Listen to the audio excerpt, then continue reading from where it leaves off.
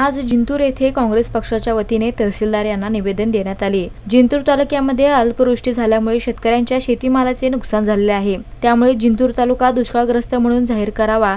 तसेच जिंतूर तालुक्यामध्ये विद्युत वितरण संदर्भात अनेक समस्या आहेत ज्यामुळे सामान्य नागरिक व शेतकरी अतिशय वैतागलेला आहे. अल्पवृष्टीमुळे शेती पिकांना पाणी द्यावे लागत आहे त्यातच विद्युत पुरवठा सुरळीत होत नाही.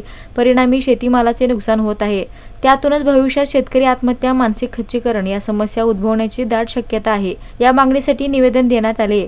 शेतकऱ्यांचे सरसकट पंचनामे करून दुष्काळ जाहीर करणे. सन दोन हजार अठराचे जाहीर झालेले त्रेसष्ट कोटी एकतीस लक्ष सदुसष्ट हजार तात्काळ शेतकऱ्यांना देण्यात यावे. दोन हजार वीस ते दोन हजार एकवीस मंजूर पीक विमा शेतकऱ्यांच्या खात्यावर वर्ग करण्यात यावा. सौर ऊर्जा योजनेअंतर्गत शेतकऱ्यांना सौर ऊर्जेच्या ऑनलाईन प्रणालीमध्ये तांत्रिक अडचणीत दोन दूर करून शेतकऱ्यांना सौर ऊर्जेचा लाभ देण्यात यावा. ओव्हरलोड झालेले सब स्टेशन संयुक्त फिटर करणे. ओव्हरलोड डीपी साठी नवीन डीपी मंजूर देणे. अकरा केव्ही तेवीस केव्ही एलईडी लाईन साठी गार्डिंग क्रॉस बसवणे. ना दुरुस्त झालेला डीपी शेतकऱ्यांना विनाविलंब पुरवठा करणे. एबी स्विच बसवणे अशा विविध मागण्या सात दिवसात मान्य करा असे निवेदन तहसीलदार साहेब यांना काँग्रेस जिल्हा कार्याध्यक्ष नानासाहेब राऊत जिल्हा परिषद सदस्य अविनाश काजळे ओबीसी प्रदेश उपाध्यक्ष केशवराव बुधवंत सेलू जिंतूर विधानसभा अध्यक्ष रामेश्वर घुगे महिला तालुका अध्यक्ष लक्ष्मी राठोड इर्शाद पाशा चांद पाशा लखन कुरहे नगर सेवक रहमान भाई नगरसेवक मुसा कुरेशी नगरसेवक फिरोज कुरेशी तालुका अध्यक्ष अर्जुन वजीर कृष्णा टाकरस आजूभाई कुरेशी मजू खान जमूबाई उपसरपंच तहसीन देशमुख शिराजभाई पठाण महेश सांगळे मुखितबाई रामदेव कस्टे रावसाहेब खंदारे बाबूराव